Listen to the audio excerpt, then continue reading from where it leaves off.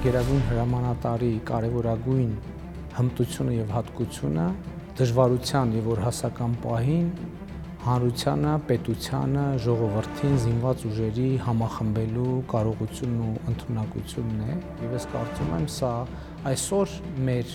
ռազմաքաղաքական ամենակարևոր առավելություններից մեկն է,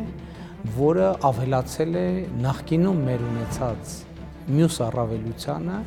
դա ուժեղ եւ մարտունակ բանակի առավելությունն է։ Ադրբեջանը շատ երկար տարիներ իր դիրքորոշումներով ապացուցում է, որ իր պատկերացումը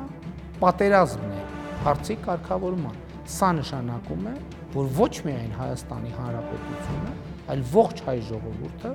պետք է պատրաստ լինի տալու անհրաժեշտ հակահարված